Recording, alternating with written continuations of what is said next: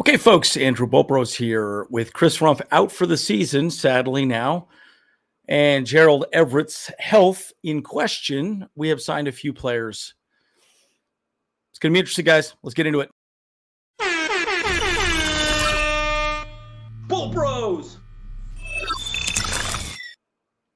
Okay, folks, as always, like and subscribe if you do enjoy the content. I'm Andrew Boltbros. So, we did just sign uh, this gentleman back to the roster. I, I, mean, I you guys might be like, "Oh, who is this guy?" This is Stephen Anderson. He's with the Chargers. Uh, he was actually with the Chargers in 2021. Uh, he had 16 receptions, around 200 yards, uh, you know, receiving. He averaged around 10 yards receiving and a touchdown.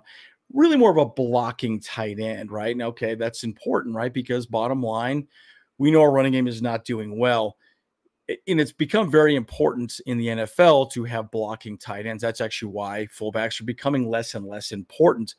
Look at what the Lions did to us this last week.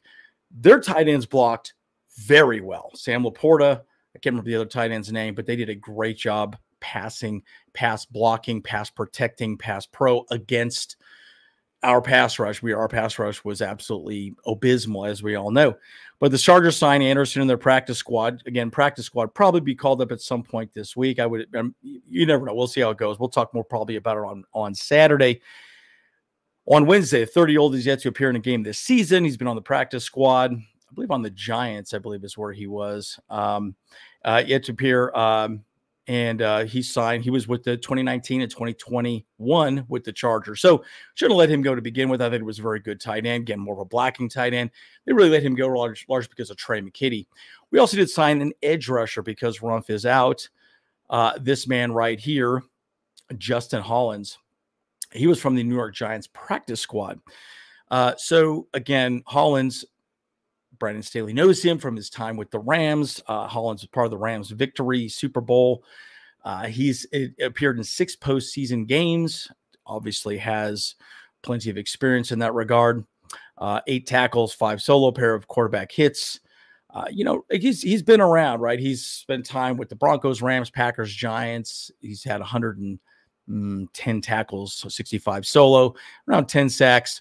Again, nothing to write home about. Chris Rumph was really not performing amazingly well. You know, some might argue this might even be a little bit of a upgrade.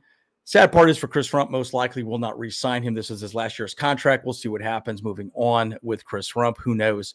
But it's interesting to see that, you know, again, this team is still trying to go out there and get depth. Uh, I would have thought they would have brought up Andrew Farmer or Brevin Allen like they did last season or excuse me, beginning of the season. So we'll see what happens with that. Probably talk more about it on Saturday when the transactions come in for a game on Sunday versus uh, Green Bay. Well, guys, as always, Andrew Bolt Bros. See you guys in the next one.